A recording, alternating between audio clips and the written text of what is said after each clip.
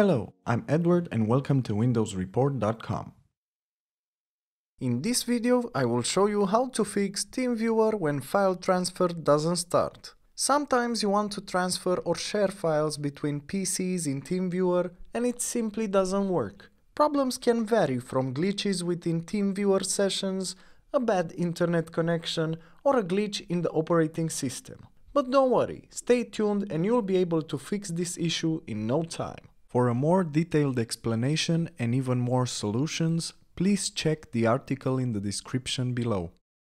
The first solution could be starting a new TeamViewer session.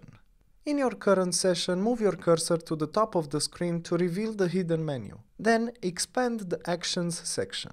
Now click on End Session. After ending the session, start the new one and check if the issue is still there. If you are connected to someone else's PC and the TeamViewer file transfer doesn't start, try opening another session. Simply terminate the one you're currently on and start a new one. Another possible solution could be simply restarting your PC. You can do that by clicking the Start button in the lower left corner, then clicking on the power icon. Choose Restart from the menu.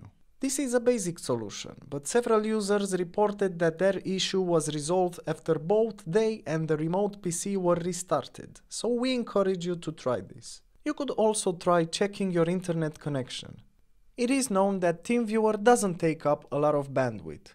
It's almost to the point where activating it is almost unnoticeable. However, the same cannot be said when trying to transfer files. To fix this, just stop any processes on your PC that may be taking up bandwidth, such as torrents or streaming, and try again. In addition, it would be a good idea to test your internet speed and ensure that everything is working properly before trying to transfer files via TeamViewer. Another great solution could be closing the background processes. To do that, press Ctrl plus Shift plus Escape to start Task Manager, then click on Name to sort your applications. Afterwards, right-click the application that you want to close and choose End Task. Repeat this step for all applications except TeamViewer. This is because file transfers in TeamViewer are also a bit more resource intensive than when just connecting. That is why it is advised that you close all programs that may be running in the background. Additionally, you could also ask the person you're trying to transfer files to do so as well. And another possible solution could be checking what exactly you're trying to send. As a security measure, TeamViewer prevents users from sending or receiving files to and from certain system directories. This is an added measure to prevent unwanted system corruption.